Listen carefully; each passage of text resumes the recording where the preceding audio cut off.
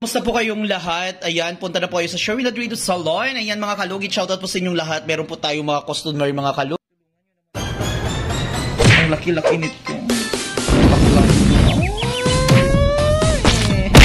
Ay, ba? Parang ngipin ng dinosaur. Ouch, daddy. Ouch. Oh, yes. Thank you, Lord. Perfect, Mr. Ingron, Davao City. Hello mga kalugit! Welcome back to my YouTube channel, Mr. Ingron, Davao City. Like and share at pindutin ang notification bell para update kayo lagi sa aking mga vlog. Huwag niyo po skip ang aking mga advertise mga kalugit. Pugit. Ayan, si Madam. Nakita ko po si Madam sa labas. May bit-bit po siyang buti. Tinawag ko po siya at binigyan ko na po siya ng, ng mga grocery at pinakain ko po siya mga kalugit. Ayan mga kalugit. Ayan ang kuko ni Madam mga kalugit. Grabe dam.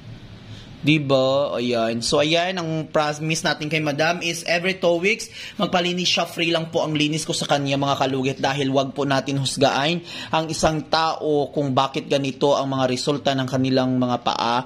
Dahil wala, ang kadalasan po, wala pong pera mga tao. Instead nga, pang palinis lang po ng kuko. Uh, bili na lang nila ng bigas, right? Tama po, mga kalugit. Wag po natin husgaan ang mga tao. Ako hindi po ako mahiling manghusga ng tao, mga kalugit. Dahil alam ko sa sarili ko po na, na, na mali po yon at pinaglaki na, nalaki po ako sa ano linisan po natin mga kalugit ayan. Linisan po natin ang kuko ayan grabe Uh, alam nyo madam, uh, hindi ko po uh, nag-brush kasi para makita nyo po ang before and after ng kanyang kuko kasi ayun mga kalugit at least makita nyo naman kung effective ba o hindi ang ginamit kong glutathione. Ayun, bili na po kayo sa Isway Glow, gaganda po ang inyong mga pra, ang inyong mga mukha, ayan. Daming lupa. Ayun. At least, di ba? So, ayan mga kalugit, ang kuko niya hindi po pantay-pantay ang pagka-shape ng kanyang kuko. So, ayan. Lahat po ng tao hindi po perfecto ang ginagawa natin. Mahalin po natin ang sarili natin. Huwag tayo manghusga ng tao. Dahil, walang araw, ma-realize mo na mali pala ang ginagawa mo sa kapwa mo. Huwag po tayo basta-basta magbitiw ng, ng isang bagay na magkasakit ng isang tao. Pasensya, alam niyo mga kalugit kasi mga kalugit. Dito na tayo mga kalugit sa Hinlilian. Magsa-start na po tayo magkuskus ng kuko. Pasensya lang mga kalugit, sometimes singot na singot po ako sa aking ilong because my ilong is I have a ilong. Kasi alam niyo mga kalugit, pasensya lang kasi swerte po tayo, wala po kayong ganito. Charis ping ping ko.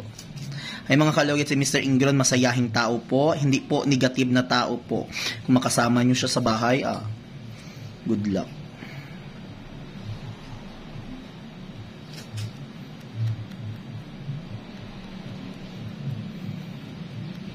Seven years na po ako sa salon ko mga kalugit. Marami po akong friendship dito. Matanda po ang aking mga friendship. Mga 30, 40, 50, 60, 70, 80. Namatay na ang close friend ko na 87 years old. Wala na akong masabihan na, I love you, Nay. Wala namin narinig na, I love you too. Oh my God, sobrang sakit.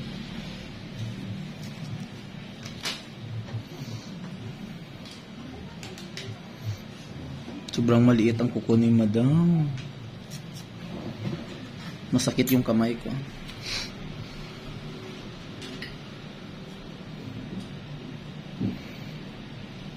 Comment kayo mga kalugi kung gusto nyo lagyan ang music ko ng, ay, gusto nyo lag, lag, ang video ko lagyan ng music para, ano, ang iba kasi dito mga kalugit, maraming nagsabi na maglagay na lang ng music. Pero, nag-start ako mga kalugit, never ako naglagay ng music dito. Nakasanayan na kasi ng mga subscriber ko na nagsasalita, hindi po scripted ang ginagawa ko. After nito mga kalugit, mag-edit ako agad. Uy, ginoo ko. Eh,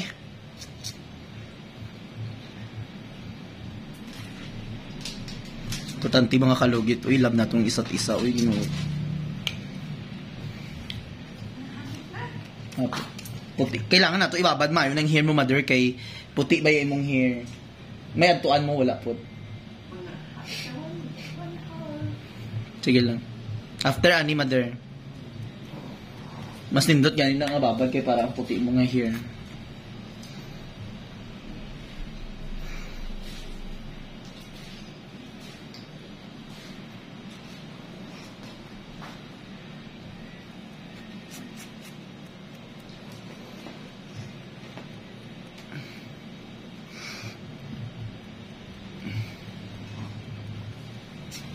Mahirap maglinis mga kalugit. Ang kuko mo ma maliliit. Ayun mga ito yan mga kalugit. Oh, kuko niya oh. Daming lupa mga kalugit.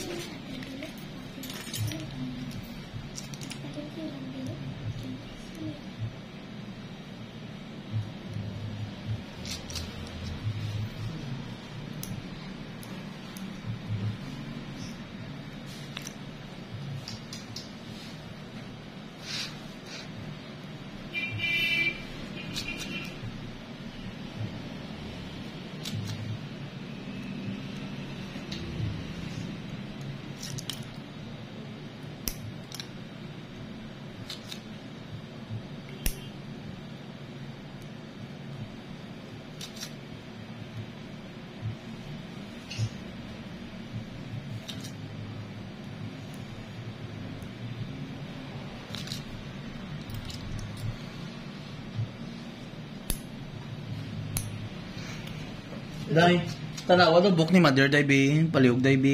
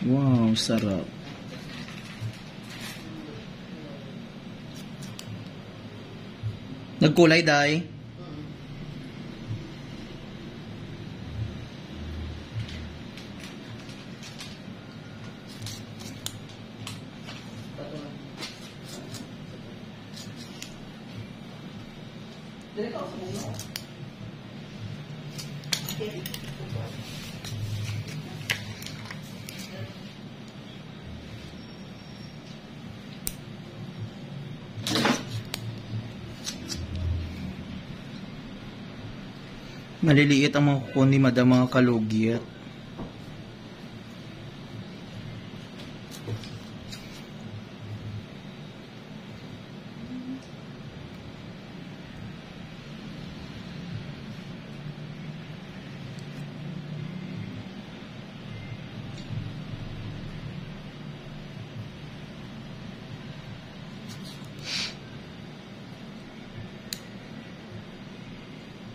Dahing putol. Hmm?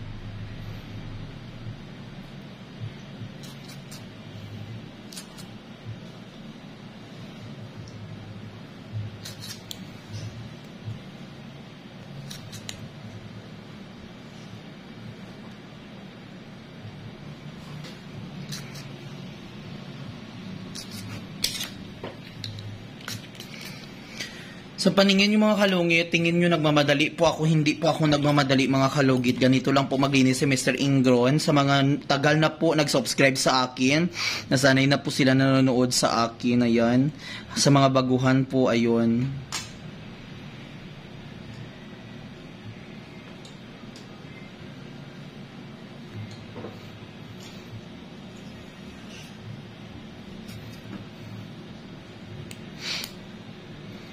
Maganda kasi mga mga kalugit na hindi po scripted ang mga ginagawa mo, hindi mo ini-edit yung busis mo para kuno para maano ka, parang respetuado ka tingnan. Pero mas mabuti kasi ito mga kalugit na hindi scripted ang mga salita kasi malalaman mo kung totoo ka sa sarili mo, hindi. Diyan mo kasi malalaman kasi sa mga kalugit kahit hindi nyo po ako na-meet sa personal, diyan nyo talaga makikita ang isang tao mga kalugit sa pagpananalita kung nagpakatotoo ka o hindi mga kalugit, kung totoo ka ba. Kaya kung nagmamalinis ka mga kalugit, ibig sabihin hindi ka totoo sa sarili mo, di ba? Ngayon lang, ginoo ko. Di ba mga kalugit, comment kayo, ganun ba kayo mga kalugit? Kailangan natin magpakatotoo sa sarili natin, huwag tayong magmamalinis kung ano sa atin kasi uh, wag nating pilitin natin ang sarili kung may alam o wala. Kasi mahirap kasi mga kalugit na wala tayong alam pero nagmamaalam po tayo sa sarili, 'di ba? Oh. Customer die. Hi, Dam. Palimpyo.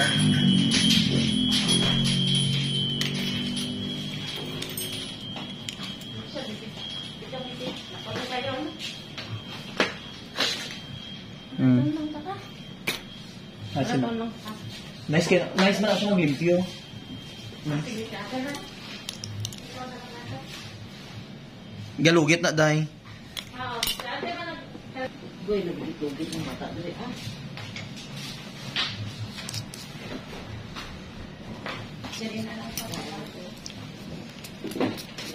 Ganda na. So ay mga kalugit, dito na po tayo sa hinlalaki ng kuko ni Madam mga kalugit. Maraming lupa. So kailangan natin tatanggalin ito. Ayan, kaya wag natin po husgahan. Ang wag po natin husgahan po ang isang tao na maraming hindi mak walang time magpalinis kasi di lahat po ng tao maraming pera, di ba Madam? So kailangan ang instead nga ibilin ano nila ayan. So ayun mga kalugit, mag-start na po tayo.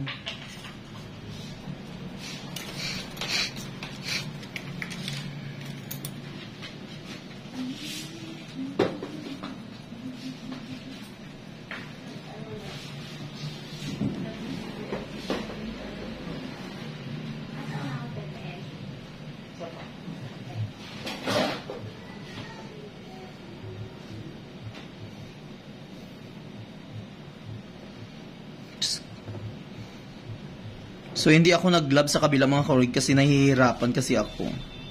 Daming lupa ah. Daming lupa. Sa ngayon, ano.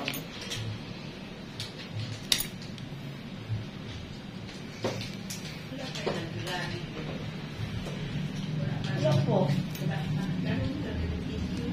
Ang unsa? Grabe.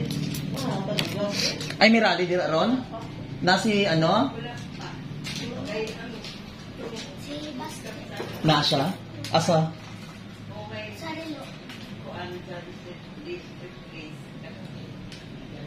May pangatay nila. Ano sa to? Ano? May rally dira mamaya, Mader?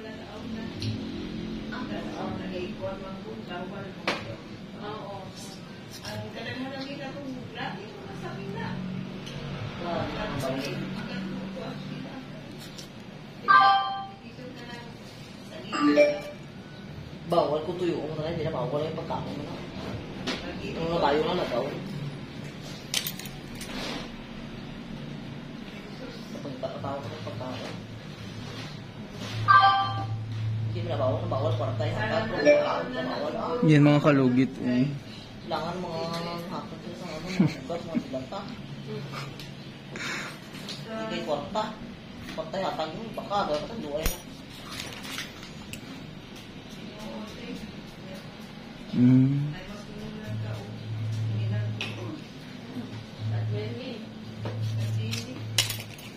Ano parang uh, sa kilala sa marami marami agin na.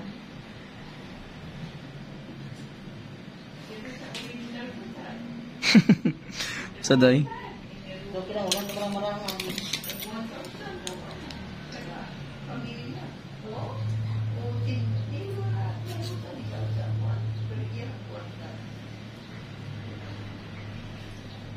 Hindi pa ito tawag ko daan. Hindi. Hindi na ko dyan. Nakala ko na sa inyo, narang hindi talaga ito.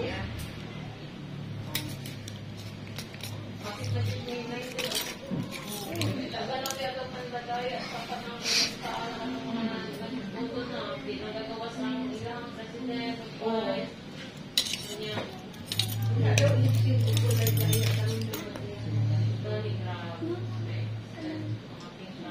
imo talaga hindi nahulog, mga basura. May masilip na nga gusto si ano. Pag-share dahil ang silip na tayo.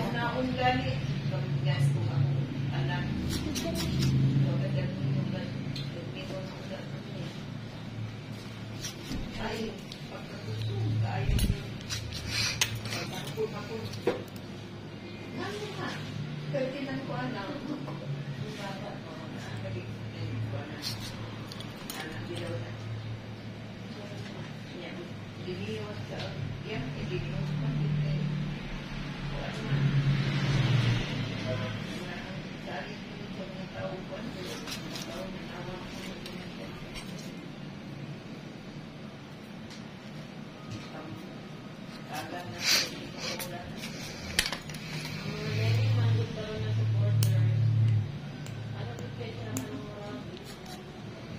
ayan mga kalugit. Ayan, wala nang lupa ang kuko niya.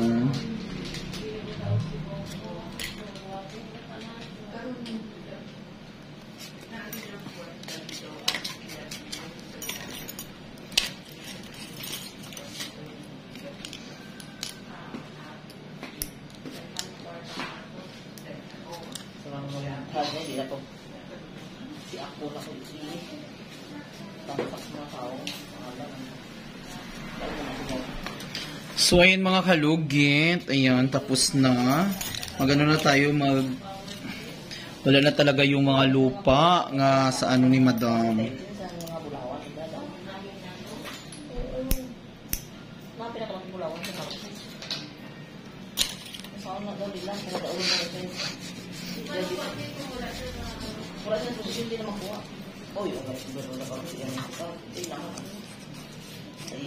yung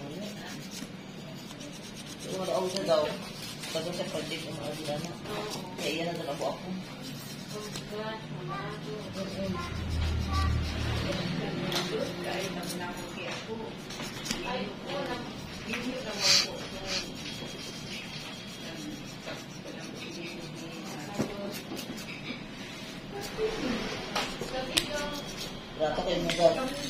So, ayan mga kalugit, huwag niyo po kalimutan i-like and share at mindutin notification bell para update kayo lagi sa aking mga vlog. So, ayan mga kalugit, ang kuko ni madam, ang ganda-ganda na perfect. O, diba? Kanin! Sa mga kalugit, God bless all. Enjoy. Bye-bye!